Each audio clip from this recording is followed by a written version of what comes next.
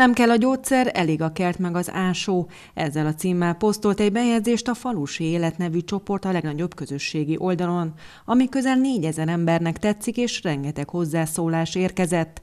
Mind az időskori aktivitás testi és lelki egészség megőrző hatását méltatva. A Tolna megyei nyugdíjas polgári egyesület elnöke is azt mondja, a lehangoltság ellen a legjobb fegyver az aktivitás, a jókedv és a társaság.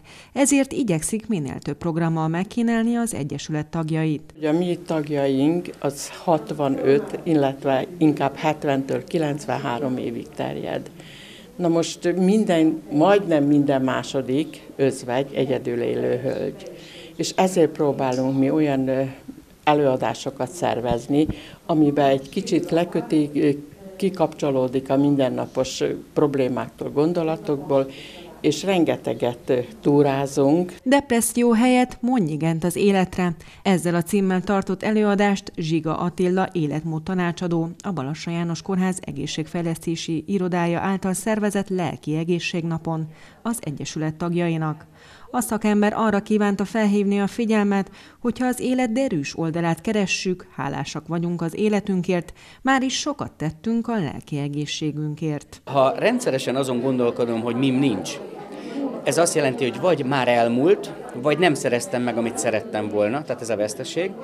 Ha folyamatosan ezen gondolkodom, nyilván nagyon sajnálatba fog torkolni a dolog. Viszont gondolkodhatok azon is, hogy mim van annak ellenére, hogy valami már nincs. És hogyha én megtalálom azt, hogy mim van, annak ellenére, ami elveszett, és az ennek én tudok örülni, akkor az egy pozitív, derűs életlátáshoz vezet. Szakemberek szerint az idősek körében gyakori a depresszió kialakulása, az egyedüllét, az izoláltság, valamint a betegségekből eredő kiszolgáltatottság miatt. Ráadásul az elhúzódó, kezeletlen depresszió akár öngyilkossághoz is vezethet, ezért lenne fontos a szemléletváltás és az, hogy a szűk környezet, vagyis a családtagok, barátok, ismerősök még jobban odafigyeljen a 60 év felettiekre.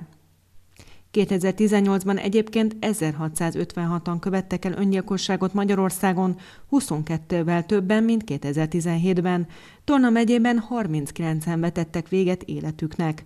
A 20 év alattiak és a 60 év felettiek körében évek óta nem csökken az öngyilkosságok száma.